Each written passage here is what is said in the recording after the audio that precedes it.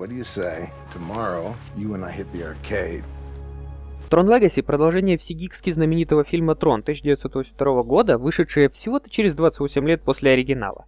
Продолжение, увы, напрочь игнорирует наработки игры Трон 2.0, вышедшей в 2003 и основанной на сценарных наработках похороненной более ранней идеи сиквела.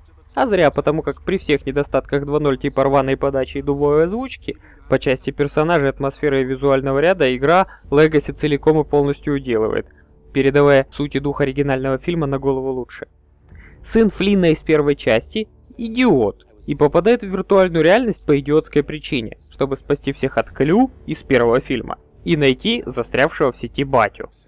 Впечатляющий визуальный ряд совершенно не передает ощущение пребывания внутри компьютера, в отличие от оригинала, и больше напоминает инопланетные пейзажи. Объекты и окружения ведут себя реалистично, подчиняясь законам земной физики. Вдобавок к этому они также реалистично освещены и очень высоко детализированы что абсолютно не соответствует эстетике первого трона, где с полу взгляда можно было сказать «Ба, ты мышь в компьютере!». Впрочем, визуальный ряд выполнен на высочайшем уровне. Даже компьютерность омоложенного Бриджеса не то чтобы сильно режет глаз. Полеты, пальба и пафосные пейзажи удались на славу. Также удался на славу саундтрек, написанный группой Daft Punk, которые даже светанулись в фильме. Он и правда компьютерен и хорошо вписывается в атмосферу. Но, откровенно говоря, графон, экшон и еще задница Оливии Уайльд это, наверное, и все хорошее, что это кино может предложить.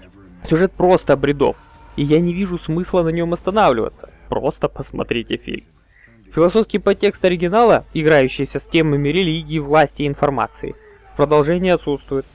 Заменен стандартной формулой «Герой мочат злодея».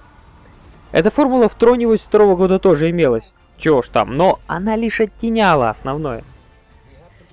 Из уникального NF Experience Трон скатился в киберфэнтезийный боевик. Его можно посмотреть и с удовольствием. Но фильм забывается сразу по итогам просмотра и желание возвращаться в новый мир Трона не вызывает.